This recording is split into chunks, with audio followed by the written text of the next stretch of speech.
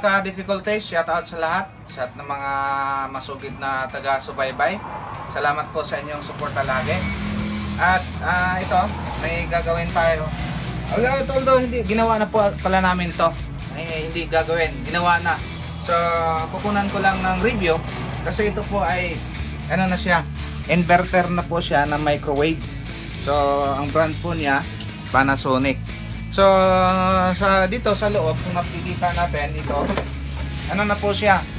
Ah, kaya inverter na siya, yung power supply ng ating high voltage doon sa magnetron ay hindi na transformer type. Yung conventional na bulky at mabigat, ito na, pinalitan na siya ng in- ano na siya, kumbaga ang supply niya ay electronic na. So hindi na siya na siya, hindi na transformer type. So is MPS na siya, kaya tinatawag na inverter kasi galing sa mababa, pinataas siya. So although AC pa rin naman ang supply niyan, kaya tinatawag siya na inverter. So ang sira lang niya, ah, hindi ko na pinakita sa inyo, hindi ko na pinakita kung paano i-troubleshoot dahil madali lang naman ang double. Ito lang po ang sira niya. Yung IGBT, which is siya ang nag-drive doon sa ating ano, chopper. So, high voltage chopper. So, ang ginawa natin, meron akong stock para sa ano, ah, inverter na welding machine na ah, IGBT. So, pares lang naman ang value nila. Ah, 60 ampere, 600 volts. So, ito yung 60 ampere, 600 volts din. Yun yung kinabit ko dyan. So, yun, ulong na. Tinesting natin, yun, gumana siya. So, sana tatagal. So, walang troubleshooting, kundi review lang po to. At ito ay combo na. So, baka madaanan nyo, yun lang naman. Ah, IGBT, kaya nawalan siya ng power. So, nung pinalitan natin, yan, gumana na siya. So, testing lang natin ha. Ah, pakita ko lang sa inyo kung paano siya umandar. So, post muna. Okay, ano natin, testing natin. Tingnan lang natin kung ah, i-finalize lang natin kung effective ba yung pinalit natin. So, yan, nagka-power na siya. So, ang sinasabi niya, instructions. Uy, nahulog. Na, na, naluwag yung saksakan na. Yan.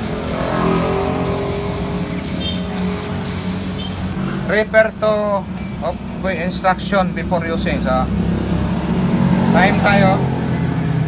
One minute. Then, start. So, combo na yan. So, wala kasi yung ano niya, yung steerer plate niya. O yung rotating plate ba? Ang tawag nun. Kaya hindi gumagalaw. So, observe lang natin kung talagang init. So, sa akin, at yung mga nag-OJT sa akin, o nag, yung mga natinuruan ko, so mahigpit na ipinagbabawal ko na mag-testing na naka-open yung ating ano, yung case. Kasi, yung case na yan, isang nakakatulong yan para hindi makalabas yung ating ano, ayan na. Ah, stop. So, masyadong mahaba na. So, ayan na. Ayun na, kumulo na siya. So, yun ang nangyayari. Wala pa siyang 1 minute. Kulong-kulo na ngayon yung tubig. Yan, na-deform na siya. Okay. So, balik tayo. Sa safety, pagka ganito, iniiwasan natin na mag-testing tayo na hindi naka-cover yung ating pinaka-cover dito sa likod. Hina, hindi natin hayaan na ma-expose tayo sa magnetron. Kasi tandaan natin ang mag- magnetron ay nagpapalabas yung po ayan ng 200 o 2450 MHz which is delikado po sa puso natin yan. Dahil yun naman napapakulungan niya yung tubig.